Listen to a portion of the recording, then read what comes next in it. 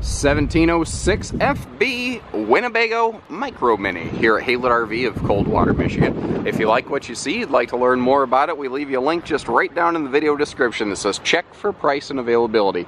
That'll show you what we have in stock and what we're asking with its equipment package because the one that we have here probably isn't the one that uh, we have, uh, like, or the one that you see here, rather, is probably not the one that we have in stock. We do huge volume sales at Haylett RV, and uh, we'll typically sell the same floor plan, you know, half dozen to a dozen times through the year. So understand that uh, this is how one 1706 might look, not necessarily how all 1706s might look. For instance, You've got this beautiful like firecracker red cherry bomb skin package on this thing. That's not necessarily how they all look because I understand this is very aggressive.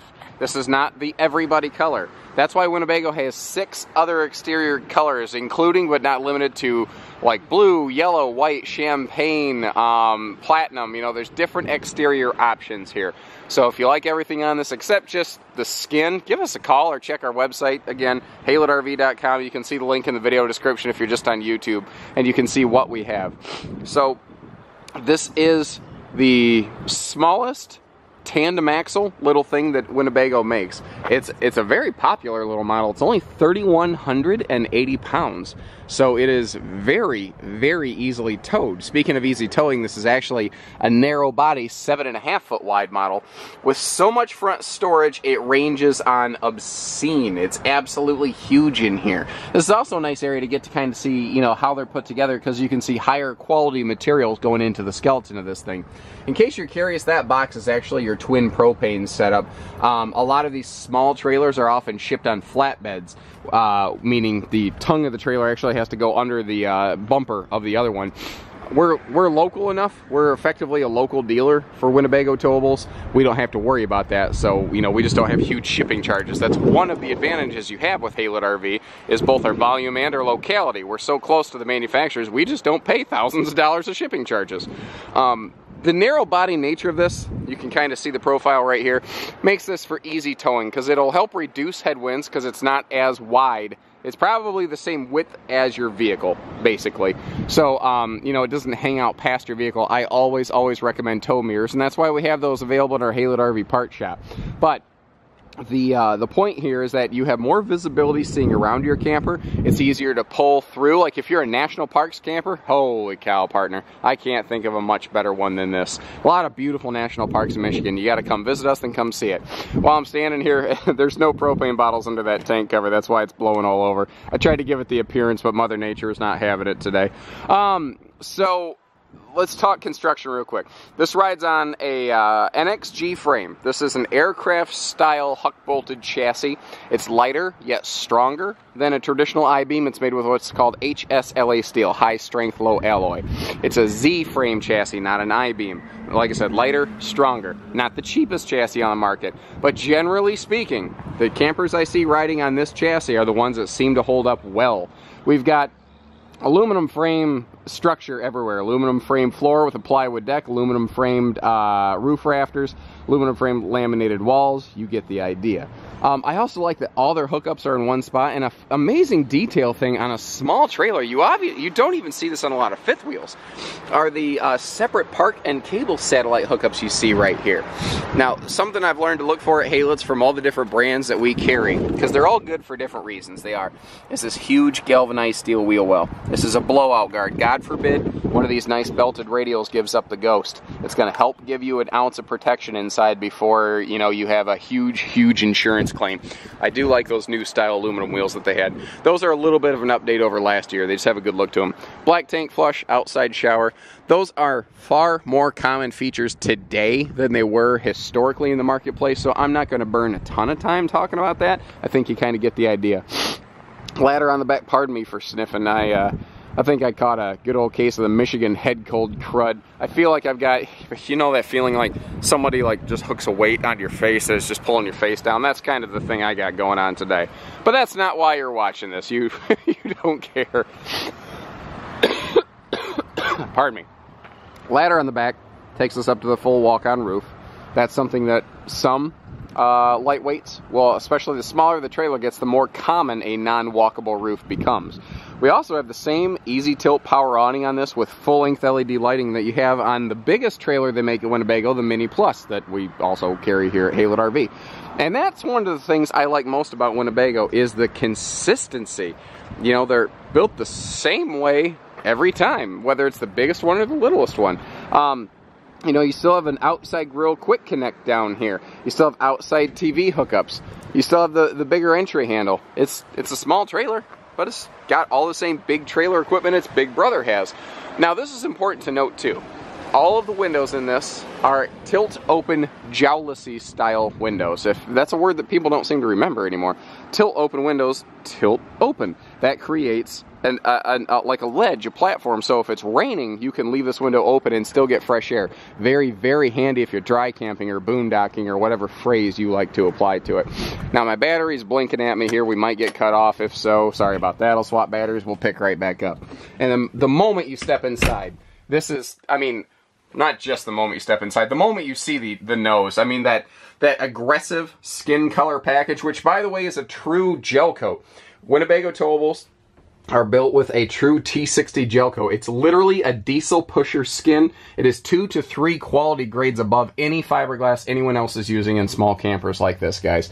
There is no one else matching it, not even close. That is an absolute best-in-class feature. Provides superior looks, arguably, that's subjective, but superior weather resistance for sure because of that, that high reflectivity and UV inhibitors. But then you walk inside and you're met with this very light bright interior. And it makes this little camper look and feel not so little. Now, certainly, it's not the biggest camper out there, but what I do like is they didn't give it little camper features. We still have the stainless double sink. You see the covers here. We have uh, outfitted this one with that stove cover and and the uh, the the full kitchen complement. This is a little camper with a full kitchen, including that full big six cubic foot fridge and freezer. Smaller models like this, guys, typically have like a, a, a truck camper sized uh, refrigerator. This one has the full Monty. Now, we also have, speaking of full Monty, the uh, full-size air conditioner up here. So this has a 13,500 BTU AC. A lot of times small campers like this will have a 5 to 8,000 BTU side mount. They just stuck with, again, all the big camper features just in a smaller towable model. That's what's nice. Now, when you start looking up here on each side of the, uh, the mattress, you have some big windows. Now that's a fire escape window over there which can give you some crazy airflow. But look at the size of the window over here. And they purposely kind of leave a little bit of space right there. So, and you see that, that power outlet. That is purposeful by design. So if you want to put like a little phone charger or alarm clock up there by the headboard, you can do that they really didn't waste any space in here because I mean the smaller the camper becomes the more important storage is they really really knocked it out of the park now just like there's different exteriors there's different interior decors this is called granite this is uh man if this ain't the most popular it's got to be right up there but um, the red outside, the granite interior is the most common combination that we seem to get demanded by our customers. So this video right here is a very good indicator of what we might have to offer you. But again, not necessarily a guarantee. Now, something I do like here is the way they put this little European style bevel effectively on these uh, cabinets. And it, it just, it helps it feel more open you know what I mean? It doesn't feel quite so big and boxy. And uh, all of the cabinet styles, meaning like this part, the cabinet boxing, they're screwed together. They're pocket screwed, they're not stapled, so that this will hold up over time. And quality and longevity is definitely big on Winnebago's agenda. I actually, I've never seen another brand really do this. They strap the table down for transit. What most brands tell you to do is put the table down in the sleeping position for transit because any dinette can become a small sleeper.